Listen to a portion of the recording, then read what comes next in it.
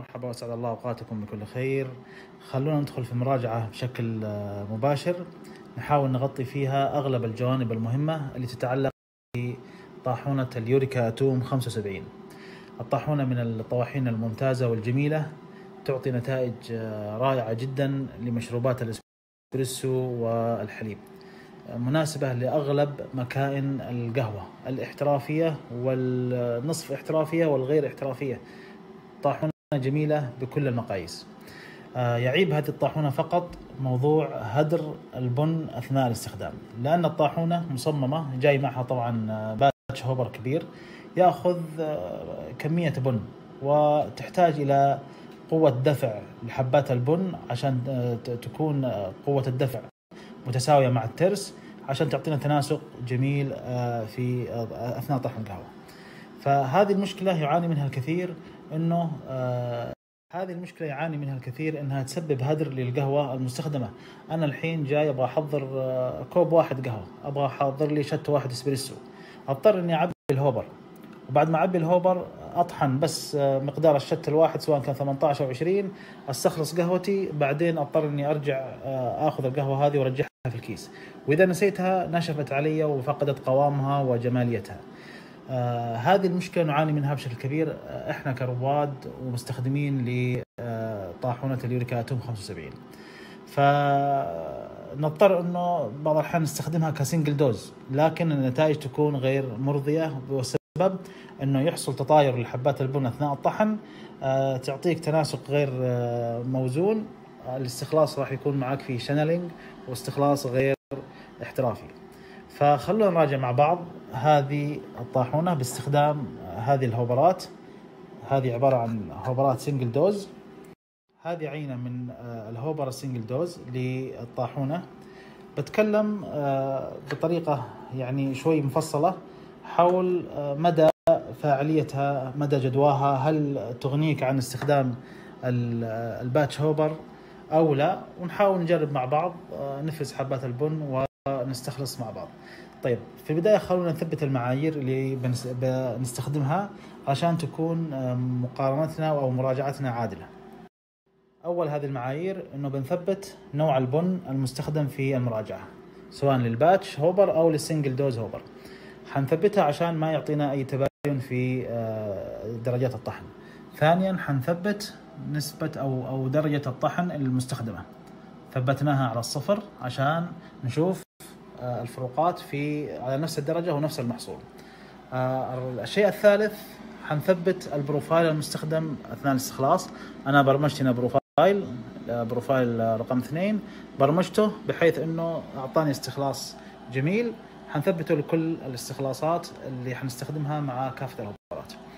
الأمر الرابع حنستخدم هذه الأداة اللي هي ال Kruve آه لعملية آه كما يقال فرز حبات البن بعد الطحن ونشوف نسبة ال fine وال super fine. حنتبع التعالي التعليمات اللي موجودة هنا. هم حددوا لنا هنا الاسبريسو. مثل ما هم ذاكرين في دليل الاستخدام مقاس الفلتر الخاص بالاسبريسو 250 إلى 500 فحنستخدم هنا في الجهة العلوية ال 500 اللي فتحاتها والمسامات فيه تكون أكبر شوي. وتحت ال 250 طبعا ال 500 تعتبر يعني مسامات صغيرة جدا للإسبريسو وال 250 تعتبر أكثر يعني ضيق. فاللي حينزل تحتها يعتبر super fine. يعني هذه الدرجة المعقولة ما بين ال 500 وال 250 فاللي حيبقى هنا واللي يبقى هنا هو الطبيعي. لازم يكون عندي في الإسبريسو نسبة fine. ال fine مطلوب في الإسبريسو عشان يعطيني مقاومة أثناء الاستخلاص. فال fine اللي حيجيني هنا هو المطلوب ولكن يكون بنسب يعني معقولة ولا تكون نسبة تتجاوز يعني ربع الكمية. وهنا حيكون باقي البن المطحون اللي بالنسبة المطلوبة.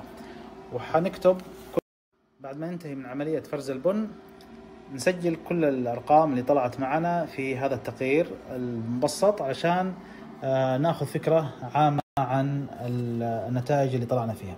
فكرة التقرير إنه حنستخدم الباتش هوبر وهو مليان فل كمعيارنا الأساسي أو مقياسنا الأصلي ونطحن فيه 20 جرام.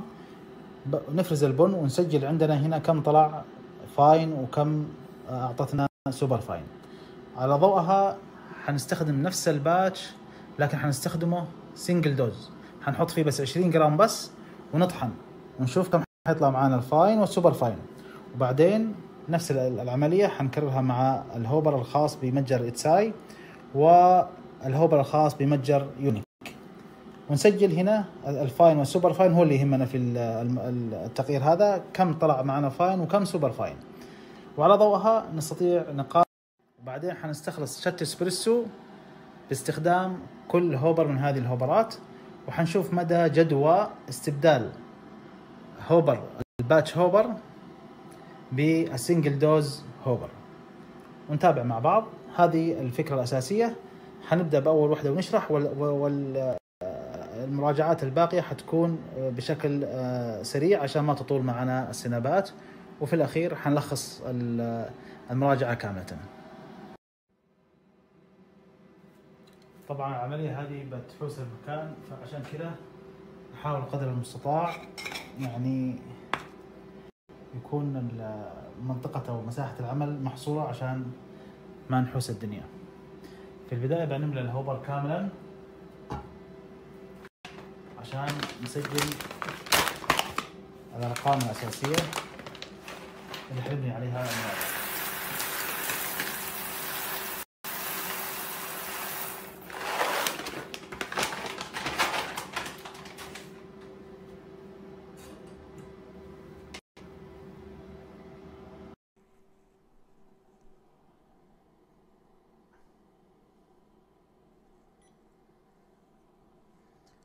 صفرنا الميزان وحنطحن أول عشرين جرام.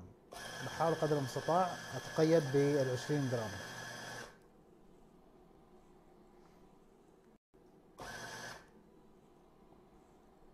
عشرين فاصلة سبعة.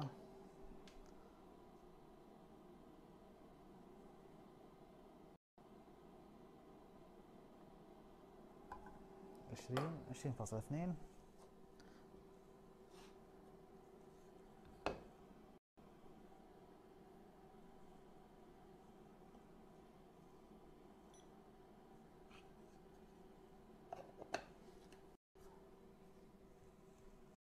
طبعا عملية الفرز أو أو نخل البن يأخذ إلى حدود 60 ثانية فبالطريقة هذه.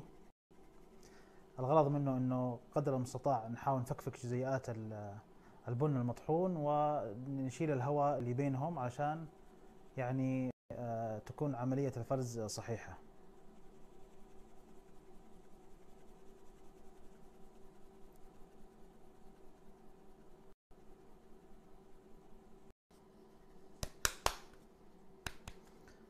تقريبا انتهيت.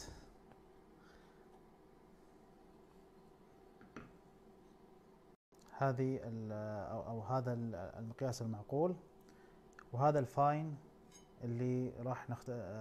يعني نسجله.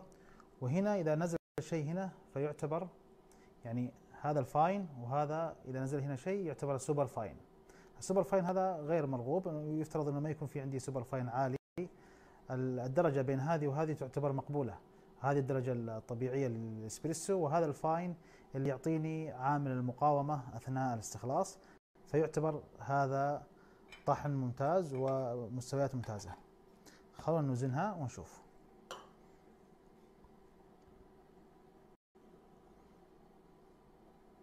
طبعا super fine يعتبر ما في. كأنه ما في super fine في fine يعني نظيف جدا. هذه بواقي لا تكاد تذكر. نصفر هنا. خلوني أسجل ال fine كم طلع معايا.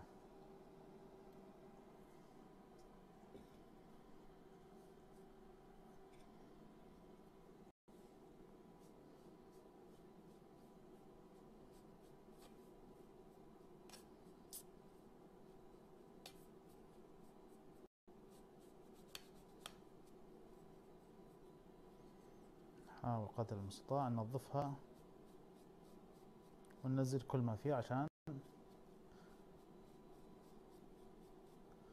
تكون قراءاتنا دقيقة شوية. تقريبا 4 جرام لل 20 جرام اللي طحنتهم 4 جرام. يعني ما تجاوزت ربع وزي ما ذكرت في السابق يعني الكمية ال super fine في المجمل ما تتجاوز ربع الكمية يعتبر شيء ممتاز وجميل لاستخلاصات الاسبريسو. الاسبريسو دائما يحتاج إلى الطحن الصحيح الاسبريسو ومعها كمان fine عشان يعمل عملية مقاومة لاثناء الاستخلاص. فالحين بنسجل المعلومات اللي ظهرت معنا هنا. 4 جرام.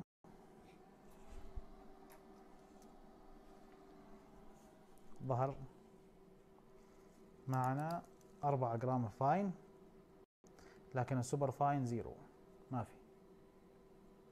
نشوف الحين حنستخدمه ك single dose ونستخدم باقي ال hopperات. طيب الآن فضيت ال hopper.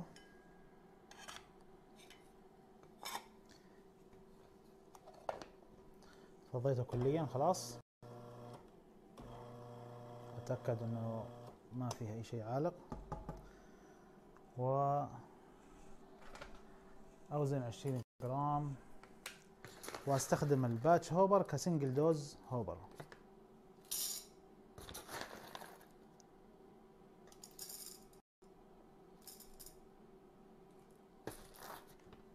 عشرين فاصل اثنين.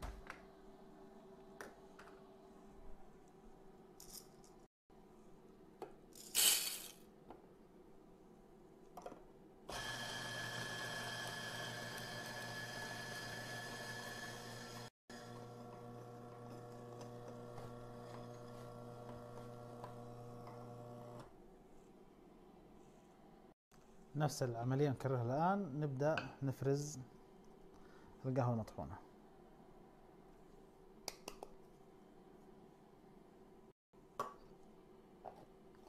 دقيقة من الرج ونرجع لكم إن شاء الله. طيب الآن انتهيت. آه برضو كسوبر فاين ما في. خلينا نشوف كم طلع معاي. ال fine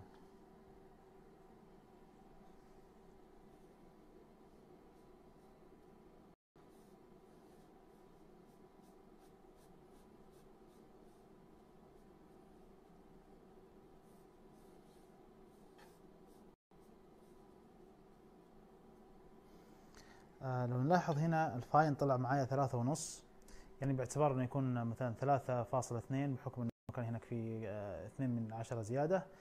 آه النسبة هذه قد يمكن يقول واحد والله الفاين آه هنا جاي قليل اذا ممتاز. لا هذا غير جيد في استخلاصات الاسبرسو. هذا يعطيني إشارة إلى أنه في هنا جزيئات كانت كبيرة. هذه هذه الحبات الكبيرة اللي ما تساوت وما وما أعطتني نسبة ال fine المطلوب بتسبب لي channeling في أثناء الاستخلاص لأنه في مسامات حتكون كبيرة شوية حينزل منها الاستخلاص بشكل أسرع. ما حيكون في مقاومة كافية لأنه ال super fine أو عفوا ال fine قليل جدا.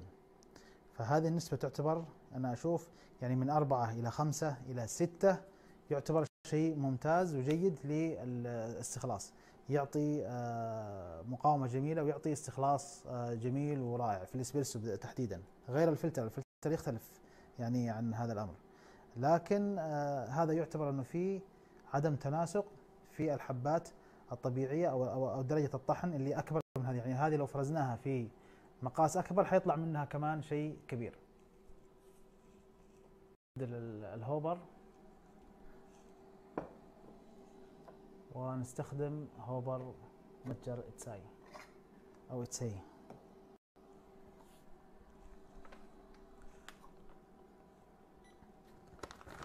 نفس الحكاية حناخذ 20 جرام.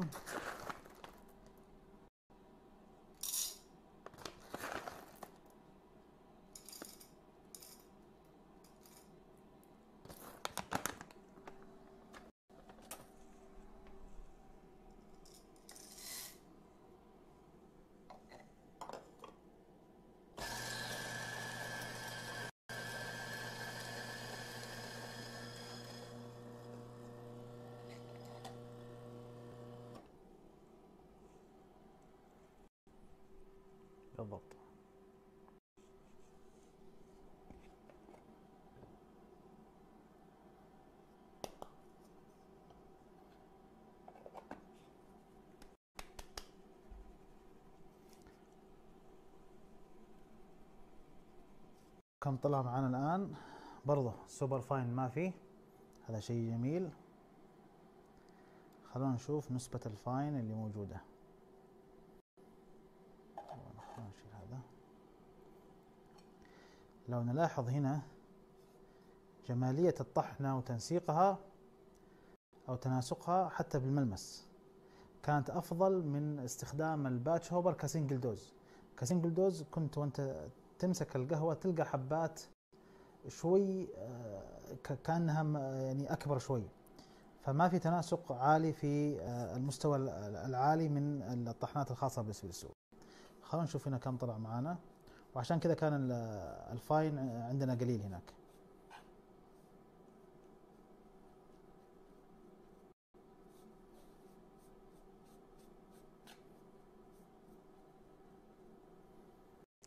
آه تقريبا طلع معانا أربعة ونص.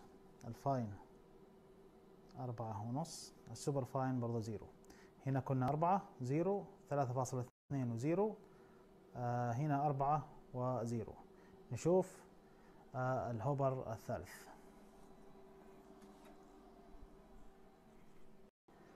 خلونا نجرب ال hopper الثالث.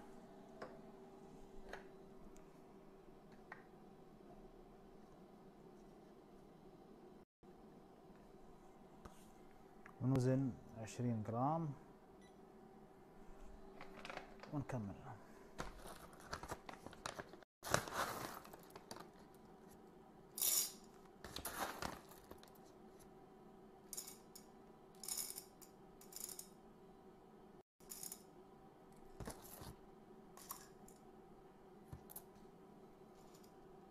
نكون عاديين عشرين فاصلة اثنين زي البقية.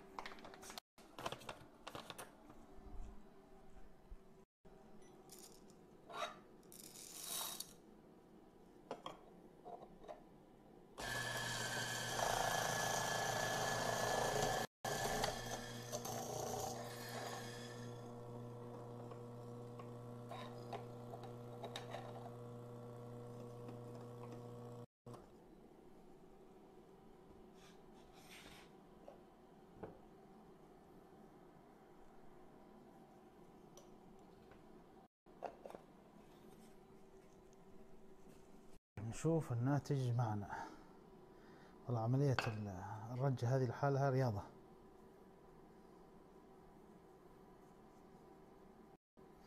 التناسق برضو مرة جميل.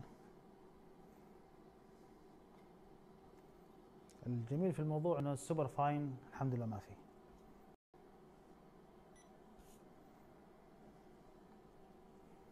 شوف كم طلع معانا هنا.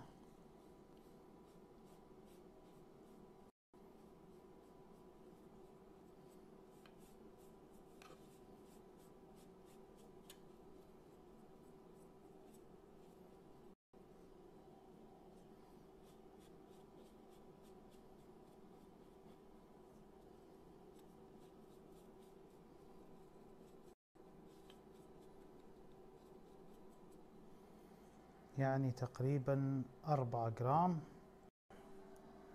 أقرب ما يكون لل batch hopper وهو مليان. يعني طلع معنا أربعة جرام وهنا ال super fine zero. يعني طلعت معنا أقرب ما يكون لل batch hopper وهو مليان. طبعا مش من العدل إنه نحكم على أن single dose آه، ال hopper يعني أداؤه حيكون نفس أداء ال batch hopper بالتمام ولكن آه، كمقاربة بشكل كبير حتى وإن كانت الأرقام متقاربة لكن برضه الاستخلاص يلعب دور لكن كنتائج آه، نقول مقاربة بشكل كبير وليست مطابقة 100 في المئة. طيب خلونا الحين ندخل لمرحلة الاستخلاص ونشوف الاستخلاص باستخدام الهوبرات. حبدأ بشكل عكسي. دام إن ال hopper هذا راكب حبدأ فيه. حنبدا بنفس ال batch أو عفوا بنفس ال hopper. نستخلص shot اسبريسو 20 جرام. ال profile ثابت في الماكينة ودرجة الطحن مثبتينها على الصفر علشان نشوف المقارنات قدر المستطاع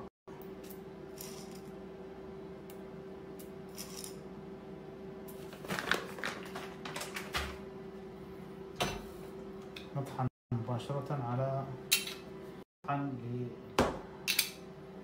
للباسكت مباشرة